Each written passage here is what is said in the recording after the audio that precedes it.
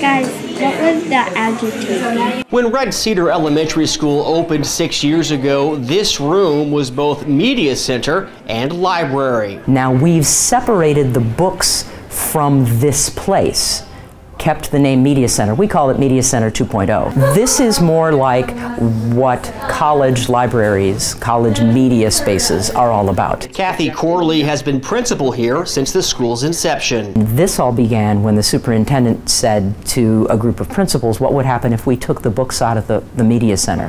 What would you do with it? Before he finished speaking, I emailed him with, I, I'm there. The books now in the atrium. In their place, equipment like giant touchscreens that can show what's going on on someone's iPad to a whole class. Or say what's happening on a piano being played by a phenom from Puerto Rico. So the children could see exactly what was going on with his fingers. There were about 120 children in this room. If we don't get kids in the in on the cutting edge of whatever it is is happening now, they're going to be way behind. It's so different, but it's really cool because it helps us learn better.